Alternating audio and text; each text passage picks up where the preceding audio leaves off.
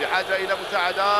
بن علي داخل منطقه العمليات يبحث عن الثغرة يوقف كورتو. داخل منطقه العمليات توسيع الله. وهدف اول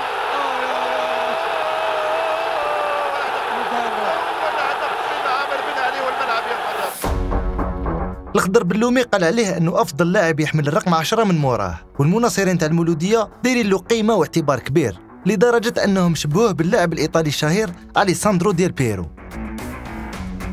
عامر بن نالي القبطان والمايسترو فوق أرضية الميدان وواحد من أهم اللاعبين تاع الجيل الذهبي للمولودية.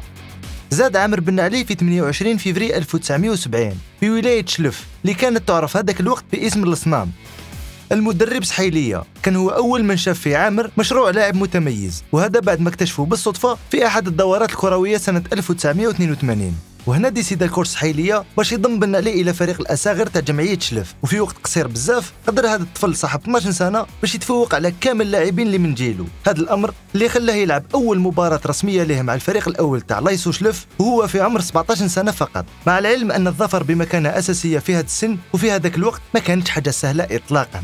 خاصة في ظل وجود لاعبين أصحاب خبرة كما اللاعب الدولي السابق فوضيل مغاريا اللي كان متفائل جدا بالموهبة الكروية تاع بن علي.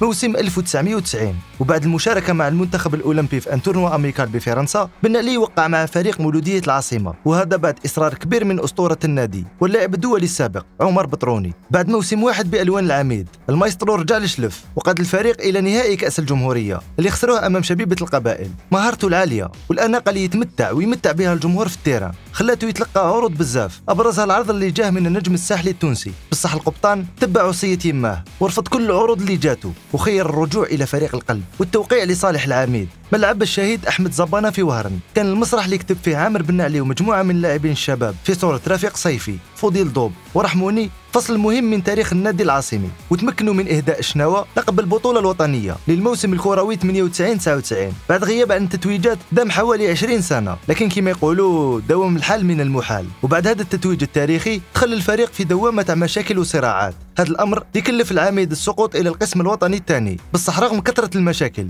وغياب الاستقرار. بن علي بقى دائما في دال للمولودية ورفض الرحيل هذا الجست خلى الكابيتانو يزيد يكبر كثر وكثر في عين لي سيبورتور تاع لمسية وبحلول سنة 2003 عامر ينجح في إرجاع المولودية إلى القسم الوطني الأول. بعد تقديمه لمباراة قوية ضد اتحاد السوغر بصح من بين الأهداف تاع بن علي اللي تبقى محفورة في ذاكرة مناصري المولودية هو ال coup franc اللي ماركاه في شباك اتحاد جدة السعودي. في إطار مسابقة كأس العرب سنة 2004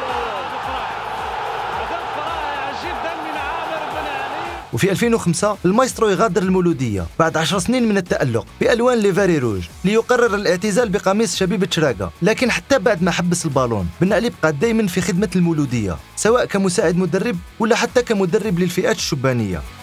وأنتم في رأيكم هل عامر بن علي هو أحسن صانع ألعاب جاز على نادي مولودية الجزائر؟